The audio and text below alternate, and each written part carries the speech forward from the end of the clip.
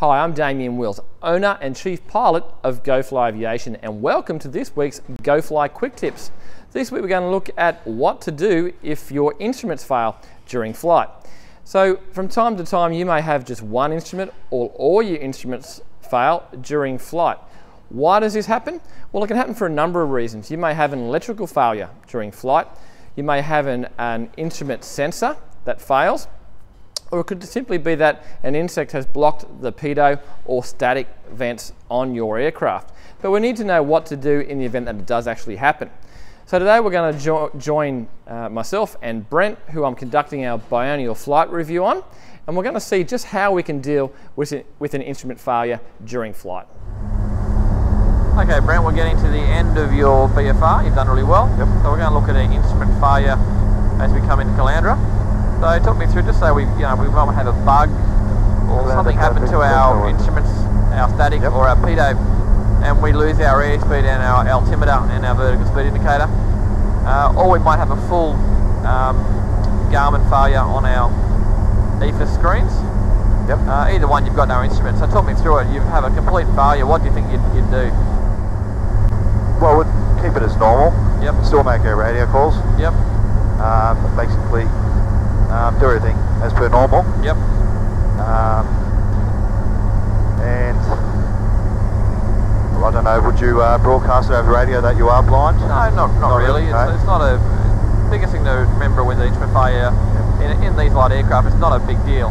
Okay, we already know that our attitude controls our airspeed, so we should be yep. able to pick our airspeed with our attitude, and we know that power controls our rate of descent. And as you yep. said before, we should be able to use our hearing to, to uh, be able to hear what that power setting is on the engine if we do lose our engine instrumentation as well. Yep.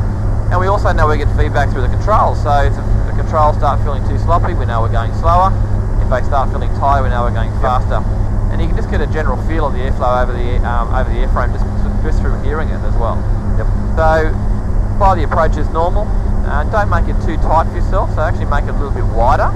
It just so it stops you from having to do any sort of tight turns or turned low to the ground. And you're better off flying a, a little bit faster than a little bit slower. So, you know, if you start to feel the controls start to feel sloppy, for instance, on final approach, you know you're going a bit slow, we need to lower the nose, our attitude to increase the airspeed. If we're too low, we just use the same technique of adding power to control our descent rate and climbing. So we're going to have a look at that shortly, and we'll, do an approach once we're overhead uh, into Caloundra, um, and I'll yep. give you an instrument failure. Sounds good. Okay, Brent, we've just had a complete instrument failure. Okay.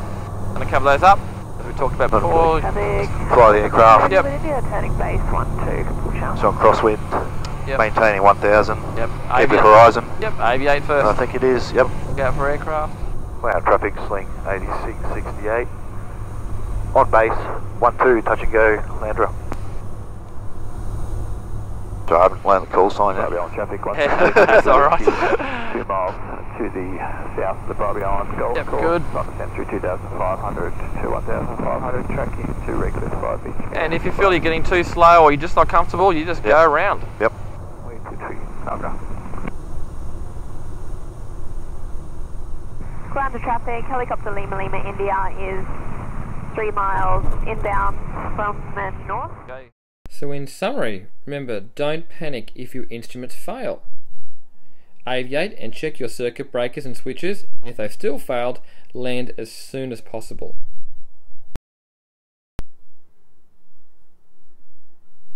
Fly a normal approach. Remember, attitude controls airspeed, power controls rate of descent, and rate of climb. We'll use our attitude to control our airspeed our controls will still give us feedback on how fast we're traveling. If your controls start feeling sloppy, you could be too slow, and listen out for the power setting.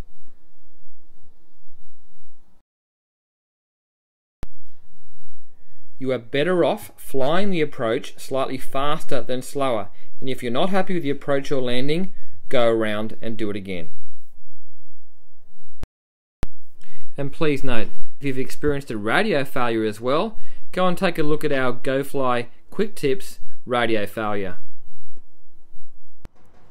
Well, thanks for joining me today on GoFly Quick Tips. Happy and safe flying, and see you next week.